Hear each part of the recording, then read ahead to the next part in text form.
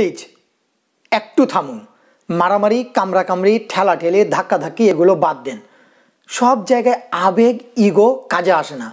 আপনি যদি মনে করেন আর্টসের স্টুডেন্টগুলো পচা, এদের মাথায় কিছু নাই, শুধু গোবর ঢোকানো আছে। এদের দ্বারা কিছু করা সম্ভব না, এদের ব্রাইট উজ্জ্বল না, তাহলে আপনি ভুলের মধ্যে আছেন। কিংবা আপনি যদি এটাও মনে করেন কমার্সের স্টুডেন্টগুলো এরা মিডিয়াম টাইপের এরা যদি জীবনে কিছু করতে পারে, তো টেনে টুনে কোনোভাবে একটা জায়গায় যেতে পারেন। সেটাও আপনি ভুলের মধ্যে আছেন। আবার আপনি যদি মনে করেন, যারা সায়েন্সে পড়ে, এরা হেভি ব্রিলিয়ান্ট হয়, এরা হেভি মেধা, মেধাবী হয়, এদের দ্বারা জীবনে অনেক কিছু সম্ভব, অনেক কিছু করতে পারে। সেটাও আপনি ভুলের মধ্যে আছেন। আপনাকে শুধু এটুকুই বলতে পারি, আপনি আপনার ছেলে মেয়ে কিংবা আপনি যে ডিপার্টমেন্টে পড়েন, সেটা আর্টস হতে পারে কমার্স হতে পারে সায়েন্স হতে পারে, যে ডিপার্টমেন্ট থেকে আপনি পাশ করবেন, যদি আপনি টপ রেজাল্ট করেন, ভালো রেজাল্ট করেন, তাহলে আপনি অবশ্যই একটা ভালো জায়গায় যেতে পারবেন। এখানে সায়েন্স আর্টস কমার্স এটার ওপর ডিপেন্ড করে না। ডিপেন্ড করে আপনি ওই সাবজেক্টের ওপর যেখানে পড়ছেন, সেখানে কতটুকু সময় দিচ্ছেন, আপনার প্যাশন কেমন, আপনার ইন্টারেস্ট কেমন আপনি কি করতে চান তার উপর ডিপেন্ড করবে আপনার ব্রাইট ভবিষ্যৎটা কতটা ব্রাইট হবে। ঠিক আছে? সুতরাং এগুলোর উপর ডিপেন্ড করা যাবে না। চলুন, আজকে আমি কিছু ইম্পর্টেন্ট ইনফরমেশান আপনার সাথে শেয়ার করব। শেয়ার করার পর আপনি সব কথাগুলো অ্যানালাইসিস করবেন, তারপরে আপনি ডিসিশান নেবেন যে আপনি আসলে কি করতে চান, কোথায় যেতে চান। আপনার জন্যই বেটার হবে। আমাদের সময় এগুলো বলার কেউ ছিল না। ইন্টারনেটও ছিল না, কেউ পরামর্শও দেয়নি। সুতরাং আমরা বিপদের মধ্যে ছিলাম, বিপদগ্রস্তও হয়েছি, সেখান থেকে ফিরে আসতে অনেক কষ্টও হয়েছে। আপনাদের সাথে কিছু কথা শেয়ার করব। অনেস্টলি বলছি, একেবারে মন থেকে শেয়ার করব, সেগুলো শুনে কিছুটা হলেও আপনার ডিসিশন নিতে সুবিধা হবে। ঠিক আছে? তো চলুন তাহলে শুরু করি। আপনি যদি এসএসসি পাস করে থাকেন, তাহলে মনে রাখবেন আপনি একটা গুরুত্বপূর্ণ স্টেজে আছেন। এখানে যে সিদ্ধান্তটি নেবেন, সেটা হতে হবে একদম পারফেক্ট আদারওয়াইজ আপনার ক্যারিয়ারে ব্যারিয়ার লেগে যাবে। আপনার স্বপ্ন ধুলিস্বাদ হয়ে যাবে। সুতরাং বি কেয়ারফুল এসএসসি পাস করার পর আপনি যে সিদ্ধান্তটি নেবেন, সেটা অবশ্যই আপনার প্যাশন এবং যে বিষয়ে আপনি ইন্টারেস্টেড যেটা করে আপনি আনন্দ পান, তার উপর ডিপেন্ড করে অবশ্যই সিলেক্ট করবেন। এমনটা যেন না হয়, আমার বন্ধু সায়েন্স নিয়েছে, আমিও সায়েন্স নেব। এটা কিন্তু একটা বিশাল বড় একটা সমস্যা আমাদের। বিশাল বড় রোগ একটা। এমনটা করা যাবে না। অ্যাট ফার্স্ট নিজের অ্যাবিলিটি চেক করতে হবে। আমি কি করছি, কতটুকু পারব, কতটুকু লোড নিতে পারব, আমার আর্থিক অবস্থা কি, তার উপরে ডিপেন্ড করে আমাকে আমার গ্রুপ সিলেক্ট করতে হবে। তা না হলে কিন্তু মাছ দরিয়া পড়ে যেতে হবে। ধরো আমি সায়েন্স নিয়ে ডাক্তার হতে চাই। কিন্তু ডাক্তার হতে গেলে তো একটা টাকার ব্যাপার আছে, তাই না?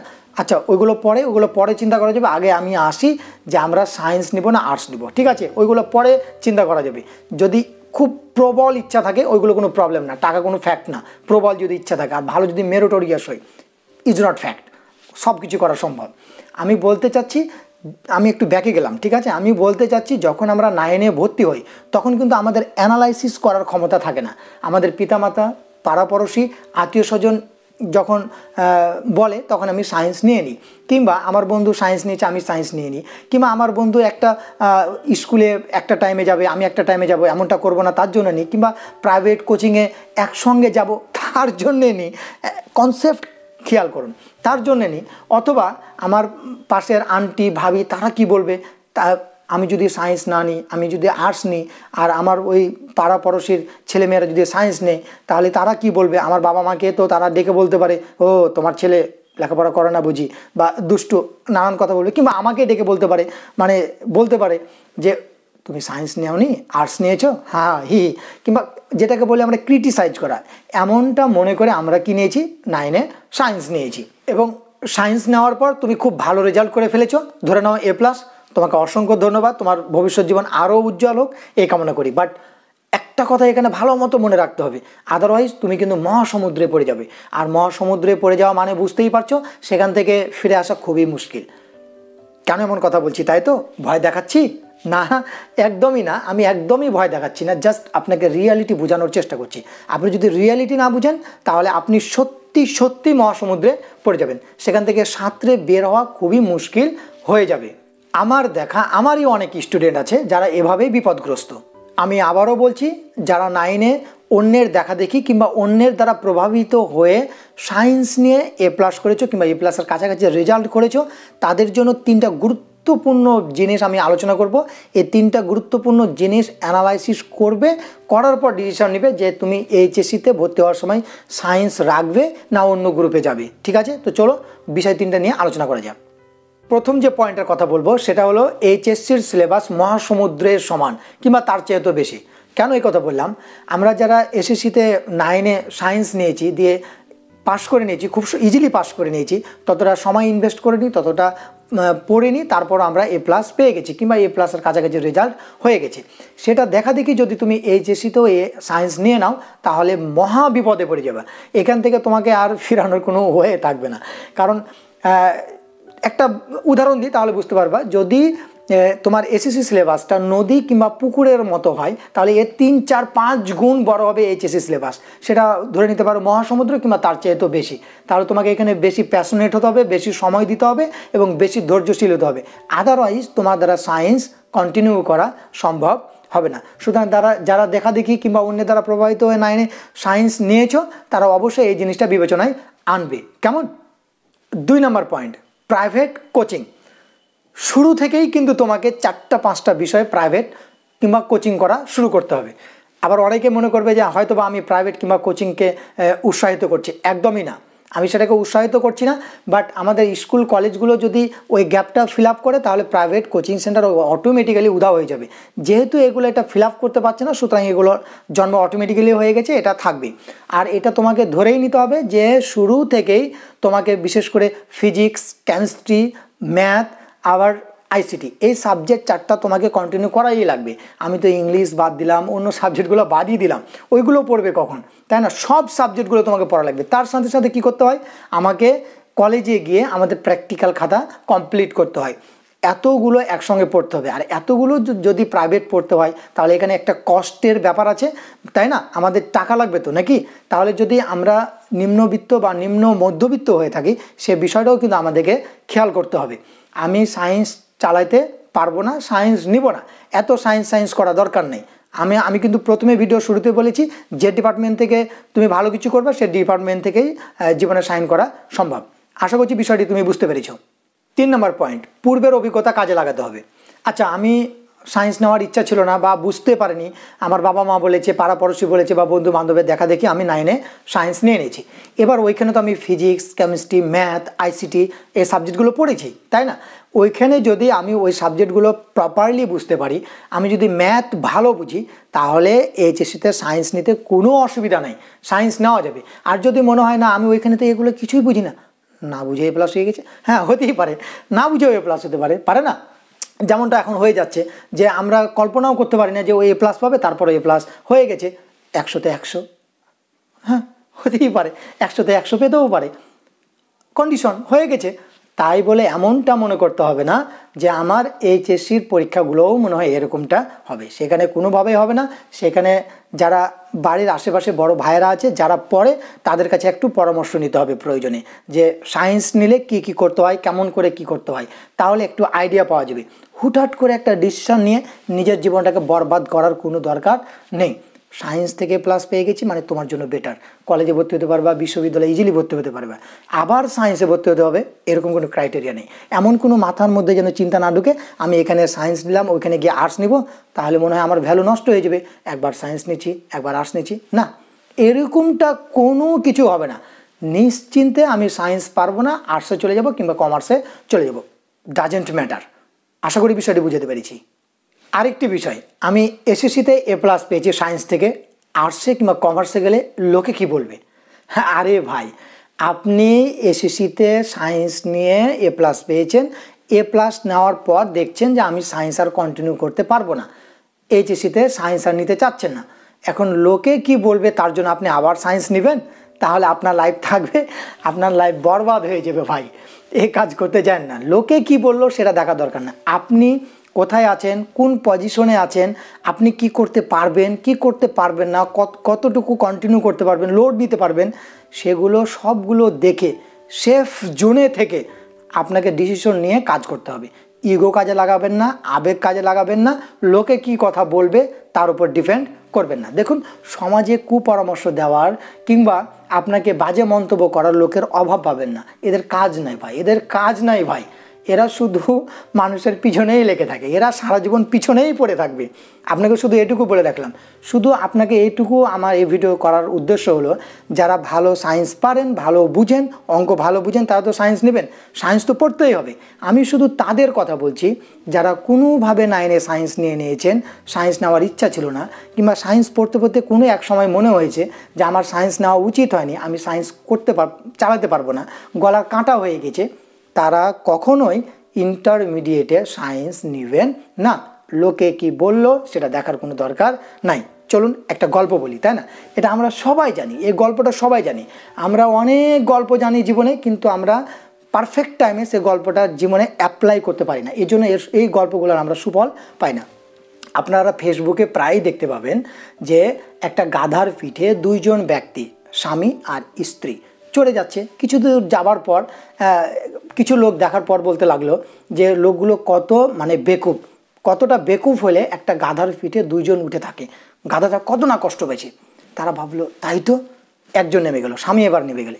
আবার স্বামী হাঁটছে, এবার স্ত্রী গাধার ওপর উঠে আছে, চলতে লাগল। কিছু দূর যাবার পর কিছু লোক বলতে লাগল, ছেলেটাকে দেখো, কত বেকুব নিজের স্ত্রীকে গাধার পিছে, পিঠে উঠে নিজে হেঁটে যাচ্ছে।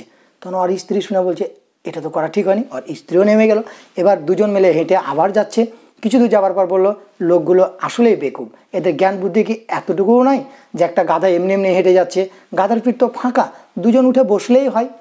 চিন্তা করুন সমাজের মানুষের কনসেপ্টগুলো চিন্তা করুন। এক একজনের কনসেপ্ট এক এক রকম। শুধু আপনাকে এতটুকুই বলব এতটুকুই বলব, আপনি নিজের জায়গা থেকে কল্পনা করবেন যে আপনি কতটুকু পারবেন, কি করলে আপনার জন্য ভালো হবে, আপনি কোন ডিসিশানটা নিলে আপনার জন্য ভালো হবে এবং যা করবেন জীবনে। সৎ, একটা কথা বলি, সৎ থাকবেন। সবসময় সৎ থাকবেন। মানুষের ক্ষতি হবে না, যেটাতে ক্ষতি হবে না সে কাজটা আপনি করবেন। ক্ষতি হয়ে যাবে এমন কাজ করবেন না। এই দুইটা জিনিস বিবেচনা করে আপনি ডিসিশন নেবেন। আপনি ভালো কিছু করবেন। ইনশাল্লাহ ভালো কিছু করবেন। সায়েন্স সায়েন্স সায়েন্স করে মরার চাইতে আর্টস কমার্স নিয়ে বিসিএস ক্যাডার হওয়া অনেক ভালো। আরেকটি কোশ্চেন অনেক শুনতে পাওয়া যায়। সেটা হলো আর্টস কমার্স পড়ে ভালো কিছু করা যায় কি? কি বলব আসলে? আমাদের এই বিশেষ করে কিছু শিক্ষক, কিছু গার্জিয়ান পাড়াপড়শি আমাদের মাথায় এমনভাবে ওয়াশ করে দিয়েছে যে আর্টস কমার্স নিলে জীবনে কিছুই করা যায় না। এটা কিন্তু আসলে ব্যাড কনসেপ্ট সত্য কথা বলছি। আপনাকে একটা মানে আপনি লজিক দিয়ে চিন্তা করবেন, আমি যে কথাগুলো বলব। আচ্ছা আমরা সায়েন্স নিয়েছি। আমার মাথায় ঘেলু আছে, একটু বুদ্ধি আছে ব্রিলিয়ান্ট আমি, ভালো লেখাপড়া করলে ধরে রাখতে পারি, তার জন্য আমি কি করেছি? সায়েন্স নিয়েছি। ভেরি গুড সায়েন্স নিয়েছি কোনো সমস্যা নেই। আচ্ছা সায়েন্সের স্কোপ কি জানেন? সায়েন্স হলো আপনি যখন সায়েন্স নিয়ে লেখাপড়া কমপ্লিট করবেন, তখন আপনাকে লক্ষ লক্ষ ক্যান্ডিডেটের সাথে আপনাকে কম্পিটিশন করতে হবে। লক্ষ লক্ষ। কারণ আপনারা সবাই জানেন, যারা শহরে, এরা মেজরিটি কিন্তু সায়েন্স নেই। তাই না? মেজরিটি আর আপনি গ্রাম থেকে সায়েন্স নিয়েছেন, তাদের সাথে কম্পিটিশন করতে হবে।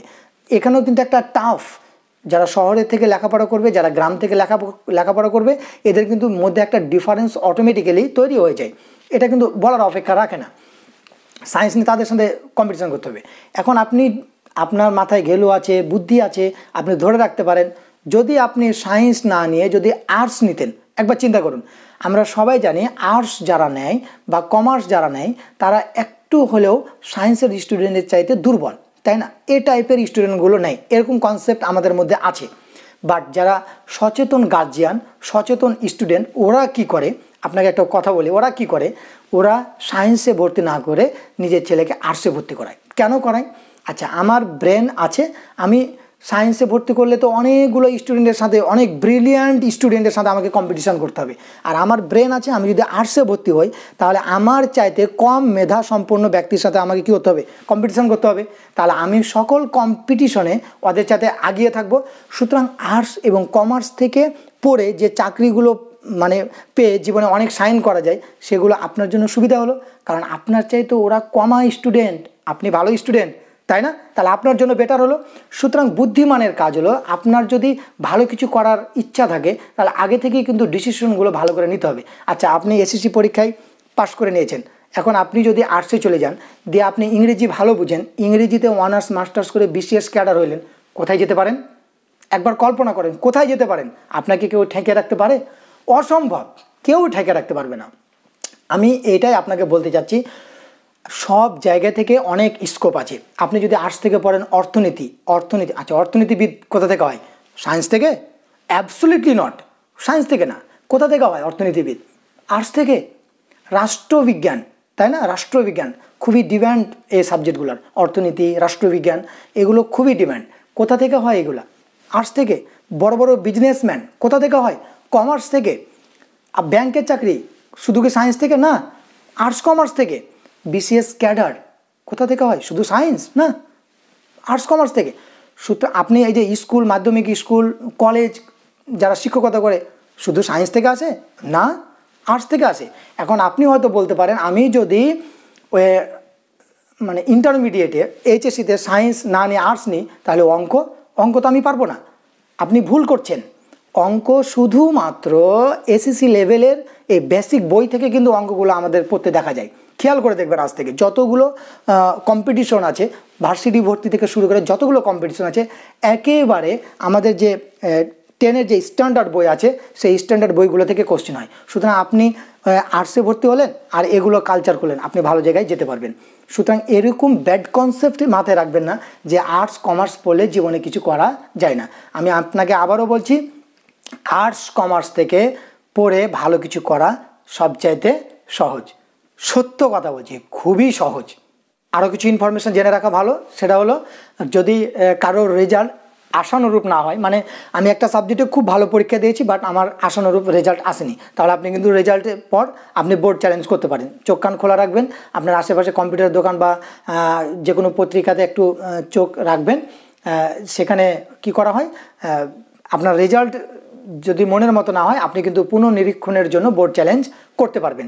অথবা আমার চ্যানেলটা ফলো করবেন কমিউনিটি ট্যাবে খেয়াল করবেন, সেখানে কিন্তু আমি পোস্ট দিয়ে দিব যে কত তারিখ থেকে কত তারিখ আপনি পুনঃনিরীক্ষার জন্য এগুলো করতে পারবেন। আর পুনঃনিরীক্ষণের জন্য আপনি যদি বাসা থেকে করতে চান বা কীভাবে করে কোন বিষয়গুলো লক্ষ্য রাখবেন, এর জন্য আমার ভিডিও থাকবে, একটা প্লে লিস্ট থাকবে। সহজ কথায়, এই এসএসসি এইচএসসির ওপর ডিপেন্ড করে আমার একটা প্লে লিস্ট আছে, ওই প্লে লিস্টে এই ভিডিও ডিসক্রিপশানে নিচে দিকে পেয়ে যাবেন।